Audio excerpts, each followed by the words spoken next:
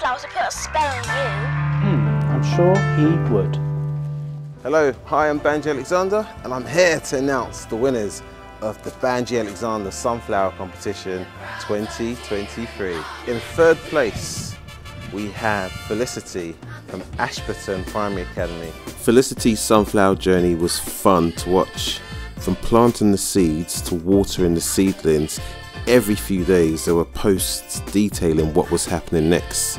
I absolutely loved the photography. They were actually some of my favourite from the whole competition. In second place, we have a family from Our Lady Immaculate Primary School. The family from Our Lady Immaculate Primary School really went above and beyond with their sunflower journey and managed to raise over £3,000 for the local community in their school.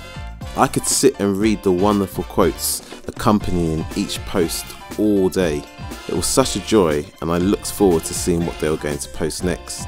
Hopefully, our little squirrel friend collected enough seeds to last them through winter time. And in first place, we have the children from Ray Lodge Primary School. Ray Lodge Primary School engaged children from all across the school and made their competition child focused. I enjoyed the cross curricular focus of their journey.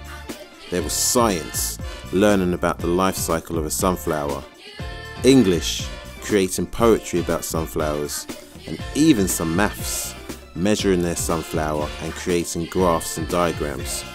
It was genius how they linked their sunflower learning to Van Gogh's famous work and created some of their own art pieces.